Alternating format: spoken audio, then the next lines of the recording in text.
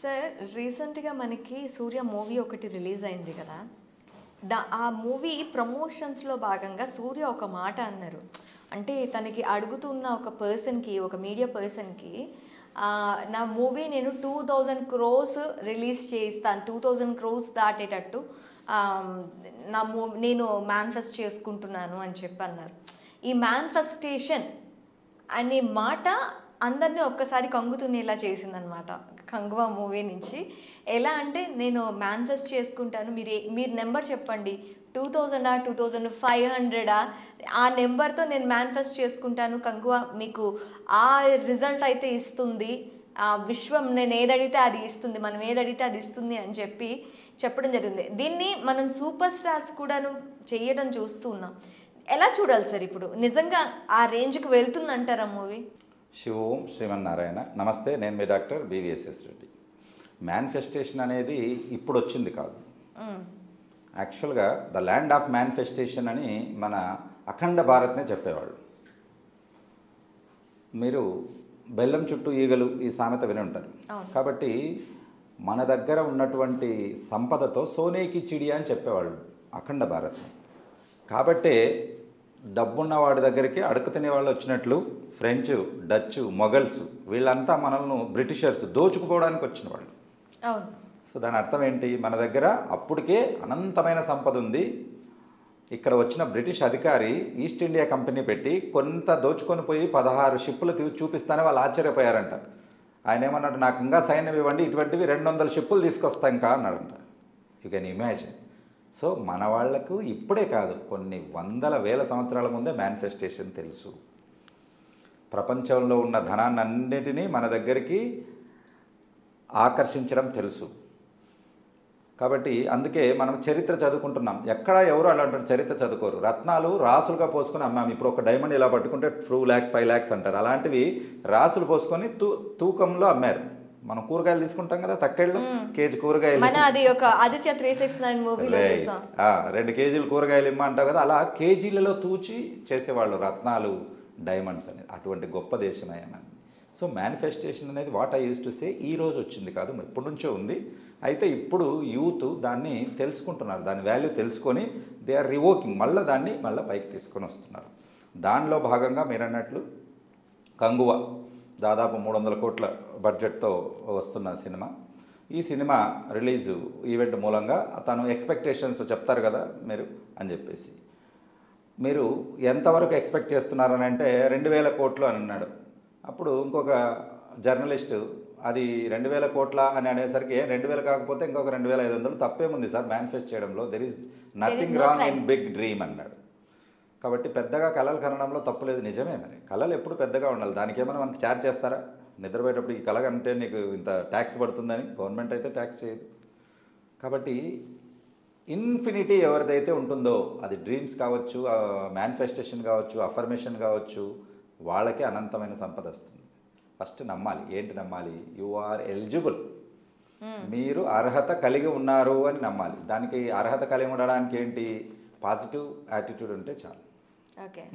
ఒక్కటే ఒక్క main and important character ఏంటంటే పాజిటివ్ యాటిట్యూడ్. నిరాశావాదిని వంద రోజుల వరకు నువ్వు ఇది చేసే బదులు ఆశావాదికి ఒక చిన్న స్కోప్ ఇస్తే దూసుకెళ్ళిపోతావు. ఆశావాదిగా ఒక్క రోజు బతికినా చాలు. చాలు. కాబట్టి అదొక్కటి ఉంటే ఇదొక్కటి ఉంటే మాత్రం కంపల్సరిగా మీకు వస్తుంది సో మేనిఫెస్టేషన్ అనేది నాట్ నవేడేస్ ఇప్పుడుతో కాదు ఎప్పటి నుంచో వచ్చింది. ఇంకా ఎప్పటికీ కూడా మనం ఉంటుంది. ఎందుకంటే మన యొక్క సంస్కృతిలోనే మేనిఫెస్టేషన్ ఉంది. ఒకప్పుడు వంద కోట్ల సినిమా అనగానే భయపడేవాళ్ళు. కానీ ఆ ధైర్యాన్ని తీసుకొచ్చిన సౌత్ ఇండియన్ బెస్ట్ డైరెక్టర్ మన రాజమౌళి అని చెప్పుకోవడంలో చాలా గర్వంగా ఉంటుంది. ఎందుకంటే వంద కోట్ల బడ్జెట్తో వచ్చింది మగధీర అప్పటి నుంచి స్టార్ట్ అయ్యింది. సో అంతవరకు అంత బడ్జెటా అని చెప్పుకునేవాళ్ళు.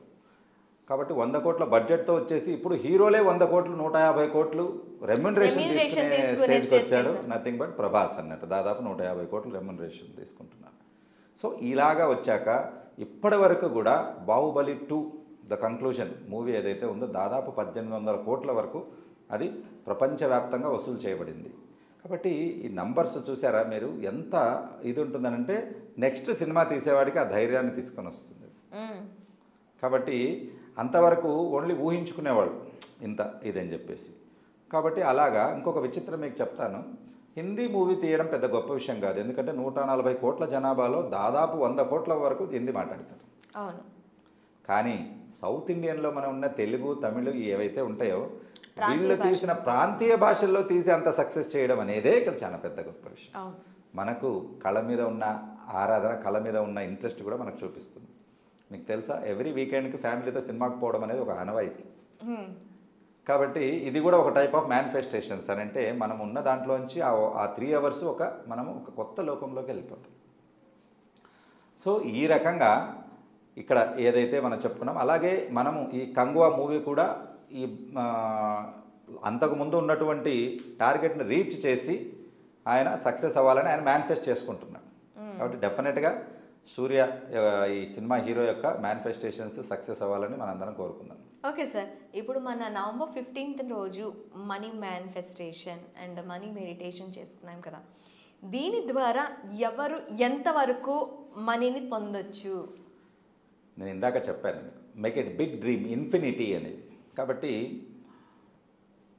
విశ్వంలో అనంతమైన సంపద ఉన్నప్పుడు మనం ఇంత కావాలి అని చెప్పుకునే దానికంటే ఎంతో కావాలి అని చెప్పుకోవడం చాలా మంచిది. కాబట్టి ఇక్కడ ఏంటనంటే మనకు లైఫ్లో ఒక ఐదు అఫర్మేషన్స్ అంటే ఆ ఫైవ్ మేనిఫెస్టేషన్ మోస్ట్ ఇంపార్టెంట్వి మీరు నోట్ చేసుకోవాల్సి ఉంటుంది. ఏవైతే అవి ఫైవ్ కంప్లీట్ అయిపోతే అమ్మయ్య నేను ఇంకా రిటైర్మెంట్ తీసుకోవచ్చు. నా బాధ్యతలన్నింటినీ కూడా ఆటో పైలట్ మోడ్లోకి వెళ్ళిపోతాయి.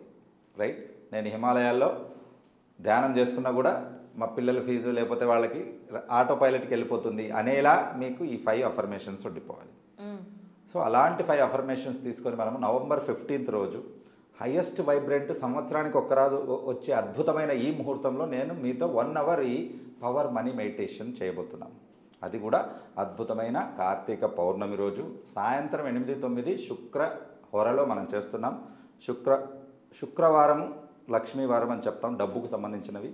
శుక్ర హొరలో మనం చేస్తున్నాం ప్లస్ వన్ ప్లస్ ఫైవ్ అంటే సిక్స్ వచ్చింది. చాలా రేర్గా ఇటువంటి మూమెంట్స్ వస్తాయి. కాబట్టి ఇవన్నీ కలిసినప్పుడు హై వైబ్రెంట్ ఉంటాయి. ఓకే. సో ఆ రోజు మీరు నాతో వన్ అవర్ మెడిటేషన్ చేసినట్లయితే డెఫినెట్గా మీ అఫర్మేషన్స్ అన్నీ సక్సెస్ అవుతాయని నేను ఘంటాపథంగా చెప్పగలుగుతాను. సో చూసారు కదా? సార్ మనకి ఓన్లీ ఫైవ్ అఫర్మేషన్స్ అది కూడా మీ కంప్లీట్ లైఫ్ సెటిల్మెంట్కి సరిపడా అఫర్మేషన్స్ రాసుకొని కూర్చోండి. ఓపెన్ ఛాలెంజ్ చేస్తున్నారు. కేవలం పంతొమ్మిది వందల రూపాయలతో మనం మనీ మెడిటేషన్లో కూర్చోవడం ద్వారా ఆ ఫైవ్ అఫర్మేషన్స్తోని మొత్తం మనీ మెడిటేషన్ క్లాస్లో మీరు టోటల్గా మీ ఆ లైఫ్ ఇంకా సెటిల్ అయిపోయింది అని చెప్పి కూర్చుంటే సరిపోతుంది నని. ఇంకెందుకు ఆలస్యం? స్క్రీన్ పైన స్క్రోల్ అవుతున్న నెంబర్కి కాల్ చేసి స్లాట్ బుక్ చేసేసుకోండి. Thank you thank you sir